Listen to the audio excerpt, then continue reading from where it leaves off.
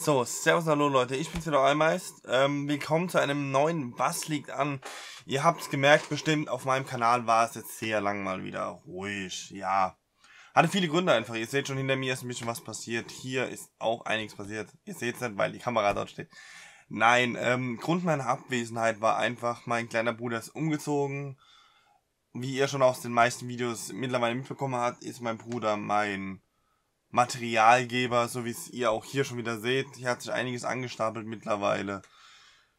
Ja, wie gesagt, ähm, sau schönes Wetter heute draußen, deswegen kann man auch wieder schöne Videos machen. Nein, ähm, ja, ich habe hier zu Hause umgebaut und mein kleiner Bruder ist, wie gesagt, schon umgezogen.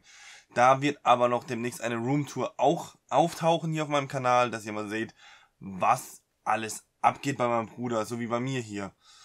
Ja, ähm, wie gesagt, ich habe meinen Schreibtisch hier umgebaut. Ihr seht, es sieht fast alles gleich aus. Ich habe meine Tastatur, meine Maus hier, mein Gamingpad von Corsair.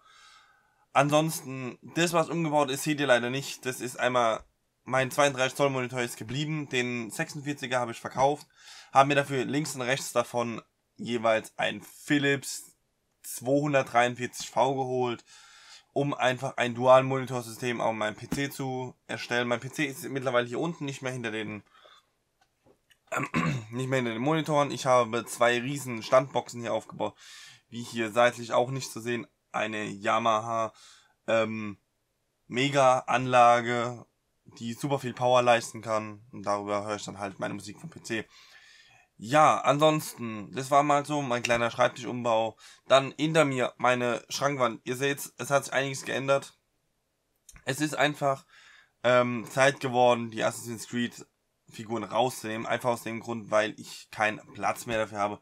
Beziehungsweise, ihr wisst ja, ich bin von oben, von meiner riesen Wohnung, ein paar Stockwerke nach unten gegangen, einfach um meine Ruhe zu haben, dass mir keiner auf den Senkel geht, dass ich hier unten einfach mein YouTube machen kann für euch. Ja, das heißt, ich hatte meine Spiele drüben im anderen Zimmer, was hier hinter dem hinter der Tür ist. Das Problem ist, ich habe auch dort keinen Platz mehr gehabt. Das heißt, ich habe die Figuren wegpacken müssen und habe alle meine Spiele hier in den Schrank getan. Zumindest PS3, PS4. Ihr wisst meine ganzen Spiele, ihr habt sie gesehen. Alles ist hinter mir im Schrank. Ja, ansonsten, jetzt kommen wir mal zu dem Gaming-Zimmer meines Bruders. ja, es ist riesengroß, hat glaube ich 30 Quadratmeter. Es stehen darin fünf riesige von diesen, von diesen hier, von diesen Doppel-Billy-Regalen stehen fünf Stück drin, dann ähm, zwei von diesen CD-Regalen sind drin, ein Schreibtisch, der unglaubliche Abmaße von 2,50 Meter mal 1,25 Meter. Das Ding ist dermaßen riesig. Mein Schreibtisch kommt mir schon groß vor. Ich habe einen Schreibtisch von 2 Meter auf 1,20 Meter nur. Das heißt, er hat nochmal 50 Zentimeter länger und 5 Zentimeter tiefer. Unglaublich riesig das Teil. Er hat es aber aus einer Tischlerplatte gemacht, die wir dann mit Lack oder mit ähm, Parkettlack bestrichen haben. Ja, riesiges Ding. Dort stehen aktuell drin noch ein PS2 und PS3 Originalaufsteller. Ja.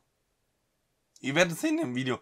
Das wird ein ewig langes Video wahrscheinlich wieder sein, dass ich euch mal alles zeigen kann, was da überhaupt drin steht für unglaubliche Sachen. Wie gesagt, die Sachen, die hier stehen, da komme ich gleich noch drauf und die werden dann auch alle dort zu sehen sein. Unter anderem ein Call of Duty, Black Ops 3 Kühlschrank, Halo 5 Collectors Edition. Was steht noch drin? Wie gesagt, die, die Aufsteller von einer PS1, PS2 und PS3. Leute, da steht so viel Zeug drin. Das ist unglaublich. Das heißt, wenn mal ein paar YouTuber hierher kommen, weil ich weiß, dass Sani ihn richtig wollen, auf jeden Fall kommen, denen werde ich das zeigen. Es ist unglaublich. Auf den Videos wird es wahrscheinlich nicht so krass rüberkommen, aber Vertraut mir, das ist absolut der Hammer. Die, diese Räumlichkeiten, ich bin sehr baff, wenn ich jedes Mal dorthin gehe. Ja, das war jetzt mal so das zu dem Gaming-Zimmer von meinem Bruder. Ja, ihr werdet sehen, ich, ich will euch nicht zu viel vorwegnehmen. Es, ich sage euch, es ist einfach nur riesig, riesig, riesig bombastisch. Ja, dann nächster Punkt auf meiner Liste hier am PC, die Gamescom. Ich bin wieder da. Ich werde wieder von Mittwoch bis Freitag in Köln sein. Jetzt kommt aber der kleine Haken, ich werde mittwochs nicht auf der Gamescom sein, da ich dieses Jahr keine Karten mehr bekomme. Leider, ist so. Donnerstag, Freitag bin ich da. Donnerstags werde ich den ganzen Tag nur rumrennen, also wenn er mich sucht, eher schlecht, weil ich bin entweder in der Warteschlange oder ich renne einfach nur irgendwo planlos rum, um alle Spiele spielen zu können. Freitags wenn ich, wie ich es schon mitbekommen habe, unter der YouTuber-Community, wir werden freitags wahrscheinlich wieder Treffen halten. Ich gehe mal davon aus, zwischen Halle 5 und 6 wieder so um 16 Uhr. Ja, das war's zu Gamescom. Ja, wenn wir schon bei der Gamescom waren, ich war natürlich auch live dabei bei der E3. Live dabei, ja. Ich war vor dem PC gesessen, hab mir das Ganze gegeben. Es sind viele, viele, viele, viele Knallertitel dabei. Ich mag aber nicht drauf eingehen. Wenn ihr sehen wollt, was alles da war, dann verlinke ich euch den Sunny Ritchie hier unten ins Video, damit ihr sehen könnt, was alles dort war, was, was denn ihre Kaufempfehlungen sind. Meine Kaufempfehlung werde ich vielleicht auch noch doch noch in einem kleinen Extra-Video euch präsentieren. Ansonsten, E3 war hammerlang für mich dieses Jahr. Ich bin zweimal fast eingeschlafen. Es liegt aber nicht an den Inhalten, die präsentiert worden sind, sondern einfach daran, dass ich einfach müde war. Das war so schlimm dieses Jahr für mich. Ich war alleine, mein lieber Kollege Stezi, wie hier noch der Stuhl steht, konnte leider dieses Jahr nicht mitkommen. Aufgrund von seinem Geschäft hat er irgendwie nicht freigekriegt, weil irgendwelche Leute gemeint haben, kurzfristig irgendwie mal blockieren zu müssen. Kann ich auch nichts dazu. Ja, hm, das war dann so E3. Wie gesagt, das Video kommt dann unten vom Sanin Ricci über alle Präsentationen, glaube ich, wenn ich es richtig gesehen habe was gekommen ist in der Kurzzusammenfassung. Wie gesagt, Verlinkung ist unten. Schaut bei den rein. Lasst am besten ein kleines Abo für die da. Ja, dann nächstes Thema bei mir. Ich habe mich bei Gate to the Games ähm, beworben, um eine Stelle als Entpacker oder Unboxer für tatsächlich, Achtung, ich zeige es euch, Pokémon-Karten. Ich stehe auf Pokémon-Karten wie noch etwas. Es macht einfach Spaß, mir die zu sammeln. Ihr seht, ich habe hier schon einen Haufen. Ist jetzt ganz klein auf dem Bild hier. Es macht mir Spaß, ich sammle sie gern. Haben früher gern gesammelt, haben heute immer noch gern. Hin und wieder ist mal ein Päckchen drin für mich. Ja, wie gesagt, also die Bewerbung läuft noch. Wenn das alles gut läuft und die Leute von Gate to the Games mich nehmen, dann werdet ihr mich in Zukunft auch auf den ihren Kanal sehen als Unboxer. Ich freue mich schon. Ja, dann Einkaufstour. Jetzt kommen wir auf dieses Zeug hier zum Reden. Wir sind mehrmals nach Essen gefahren hintereinander. Ich glaube, das war, glaube ich, viermal oder so sind wir nach Essen gefahren. Das ist von mir aus hier so um die 330 Kilometer einfach entfernt. Super weiter Weg. Ich bin alle viermal selber gefahren dorthin. Alle viermal ist nichts mich rausgesprungen. Doch, jeweils ein Spiel, glaube ich, für die Gamecube. Ihr seht ja, hier ist meine Gamecube-Wand. Ja, wir waren beim ersten Mal, haben wir, hm, schwer abzumessen für euch, ihr seht halt nicht richtig, so eine große Lampe geholt von Xbox 360, die hängt mittlerweile als Deckenlampe bei meinem Bruder im Gaming-Zimmer, die werden wir natürlich auch sehen. Ja, dann waren wir nochmal in Essen, haben eine, haben wir noch geholt, ich weiß es gar nicht, was wir so alles geholt haben. Zumindest wir waren auf jeden Fall einmal in Essen. Das war ein mega Kauf. Das war ein Sammler, bei dem bedanke ich mich heute noch dafür, dass wir einen mega Einkauf gemacht haben, Leute. Wir haben 500 Euro dort gelassen. 500 Euro. Das ist für manche ein halber Monatsverdienst. Für mich ist das ein ganzer Monatsverdienst. Ich verdiene nicht viel als Schüler. Deswegen bin ich dennoch riesig froh, dass mein Bruder und seine Freundin einfach dieses Geld aufgebracht haben dieses, diese Sachen zu kaufen, damit ich sie hier auf dem Kanal vorstellen kann. Wir haben hier hinten dieser ganze Stapel. Drüben im anderen Zimmer steht noch ein großes Paket.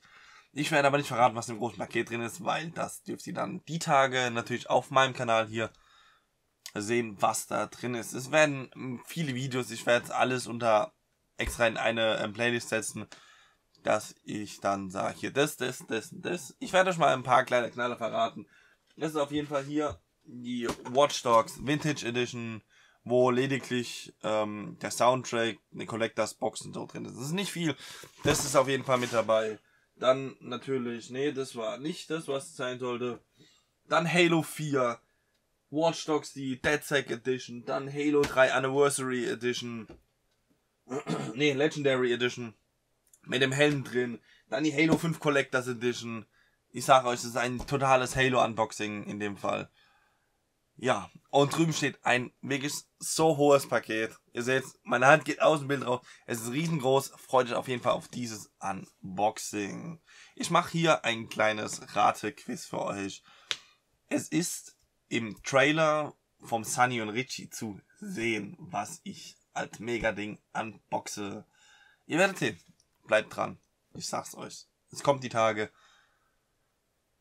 Das war wieder ein, ich sag's euch, fahrt muss 660 Kilometer an einem Tag nur um irgendwelchen Gamer-Müll zu kaufen. Das ist brutal. Wir, man ist einfach sechs Stunden unterwegs und sechs Stunden Auto, Auto fahren. Ja, einfach krass. Ja, dann komme zum nächsten Punkt. Leider ist das meine Schuld. Ja, egal was auf dem Kanal passiert, ist meine Schuld. Das von daher. Nein, wir waren auf dem Flohmarkt im April und im Mai. Ihr habt gemerkt, es sind keine Videos vom Flohmarkt gekommen. Das liegt aber daran, dass mein Bruder ja umgezogen ist und ich auch teilweise hier. Das heißt, die Sachen sind alle verschleppt gewesen und schon zum Großteil eingeräumt mittlerweile in die Regale. Das heißt, es werden auch keine Videos dazu kommen. Das, ja, ich werde euch mal aber ganz kurz so grob sagen, was wir dort gesammelt haben. Unter anderem, ich habe hier noch ein Teil. Das ist einmal das DJ Hero 2 Set. Mit Turntable und dem Spiel 1 und 2. Das war auf jeden Fall einer unserer coolen kleinen Highlights. Haben wir, glaube ich, 5 Euro oder so bezahlt für das Ding. Super billig. Was haben wir noch gekauft? Ich habe mir so zwei, drei Gamecube-Spiele organisieren können. Das war unter anderem Need for Speed Underground 2, Carbon, also Need for Speed Carbon. Dann habe ich mir, irgendwo liegt es sogar hier noch, ähm, oder, was ist es da? Ja, nee, ich finde es gerade nicht. Nee, ist nicht dabei. Weg ist es. Seht ihr? So schnell sind die Spiele weg bei mir. Ähm, Tony Hawk's Pro Skater 2 für den N64 geholt, weil ich das einfach unbedingt spielen wollte. Super Spiel, super Spiel. Ich freue mich tierisch drauf, das endlich mal spielen zu können. Der Umbau ist fertig bei meinem Bruder. Müssen nur noch die Konsolen aufgestellt werden, dann kann ich dort endlich spielen, weil ich werde bei mir hier nicht mehr alles aufbauen. Ja, das war, glaube ich, im April. Was haben wir im Mai geholt? Im Mai, das ist noch relativ zeitnah. Da war, glaube ich, nichts für mich dabei. Das heißt, keine Gamecube-Spiele. Aber es waren, doch, es waren ein paar Sachen dabei, aber gar nicht für Gamecube. Wir haben, glaube ich, um die 15 PS2-Spiele wieder geholt. Dann PS1-Spiele war, glaube ich, was für mich dabei. Ansonsten, ich habe noch Bilder, glaube ich, irgendwo. Ich glaube sogar auch auf meiner Facebook-Seite habe ich Bilder hochgeladen. Ich werde es nicht suchen. Wenn, wenn ich es noch finden sollte, das Bild, dann werde ich euch natürlich hier links oder rechts irgendwo einfach einblenden kurz, dass ihr seht, was im Mai war. Wir haben auf jeden Fall von allem Fotos gemacht, das weiß ich. Nur, ach ja, genau, Mai. Jetzt fällt mir es gerade ein, von wegen Mai. Das war nämlich genau auf der Heckklappe von meinem Bruder, seinem Peugeot Cabrio. Wir haben geholt PS2 Vertikalständer von der Fat Lady. Und was ich noch nie in meinem Leben gesehen habe. Das ist krass. Ein, ein Horizontalständer für die PS2, wo dann lediglich vorne eine so große blaue Leiste unten über die Schlitze oder über die Lüftungsschlitze von der PS2 sind. Ich habe das noch nie meinem Leben gesehen. Das ist für mich auf der einen Seite eine Fehlkonstruktion, auf der anderen Seite eine extreme Rarität. Haben wir pro Stück 10 Euro bezahlt. Das Gute ist, wir haben auch noch für die PS2 Slim Version zwei Vertikalständer in Originalverpackung gekriegt. Zu, alles top. Für 10 Euro jedes. Top-Ding. Also vier Ständer, 40 Euro. Top-Deal. Auf jeden Fall. Was haben wir noch geholt? Ein Guitar Hero World Tour Drumset für die Wii. Haben wir auch, glaube ich, 18 Euro oder sowas bezahlt. Das war unser letztes Geld. Ja, das war's. Ach, ähm, ich habe noch was. Ein kleines Zelda äh, Link's Awakening, glaube ich, für den Game Boy Classic. Ich glaube, Link's Awakening war es. Keine Ahnung. Das war das erste Teller, glaube ich, in Game Boy. Für 8 Euro habe ich mir geholt. Top, top Deal für mich. War wieder super auf jeden Fall. Ja. Somit sind die Videos für April und Mai leider ausgefallen. Jetzt im Juni gibt es keinen Flohmarkt für euch weil einfach keiner stattfindet. Ich wurde von meinem Retro-Händler zwar angesprochen, ob wir irgendwo 100 Kilometer von hier entfernt auf einen Flohmarkt fahren, aber das Problem ist, ich habe einfach kein Geld gehabt den Monat wegen meinem Umbau und ja. Aber erfreuliche Nachricht, im Juli geht's weiter. Danach ist ähm, ein Monat frei, das heißt, August gibt's wieder keins, aber da kommt ja sowieso die Gamescom. Da kommt ein riesen Games, Gamescom an Boxing, Unpacking, ich weiß nicht mal, wie es heißt. Das heißt, von mir, vom Stezi, von meinem Bruder, seiner Freundin, vielleicht noch von ein paar anderen, je nachdem, welche Sachen ich jetzt dann zur Verfügung gestellt krieg. Auf jeden Fall, es wird ein mega Unboxing, das weiß ich jetzt schon. Gut, es ist natürlich abzuwarten, was auf der Gamescom angeboten wird. Ja, ansonsten, September geht's weiter, glaub, Oktober, November kommen dann auch nochmal zwei Flohmärkte. Ich werde auf allen vertreten sein. Diesmal werden dann wieder auch alle Videos kommen, versprochen. ja, ansonsten, ja, war es das auch vor meinem Flohmarkt hier. Ansonsten das letzte mein Sendeplan für die Zukunft. Ich bin gerade dabei, ein Let's Play aufzunehmen von Resident Evil, weil der liebe Stezi und ich haben uns die gesamten Resident Evil Spiele für die PlayStation 3 und PlayStation 4 gekauft, weil sie irgendwann mal im Sale war. Für, ich glaube, 80% des Preises haben wir, nee, 20% des Preises haben wir nur noch bezahlt, weil 80% Nachlass war.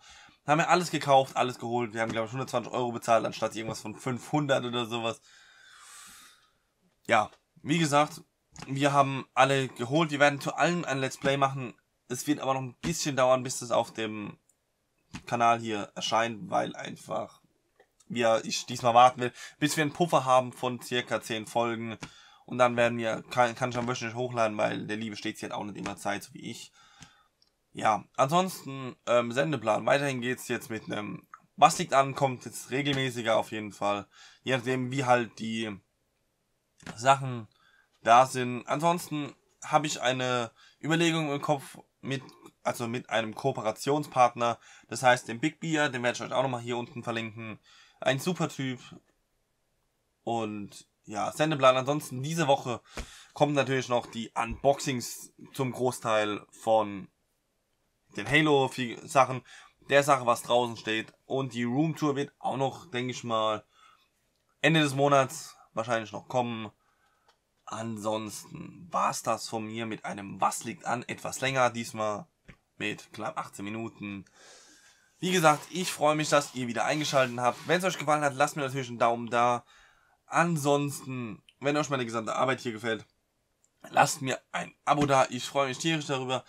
Ansonsten wünsche euch einen wunderschönen Tag. Haut rein. Das war's von mir. Euer Meist. Servus.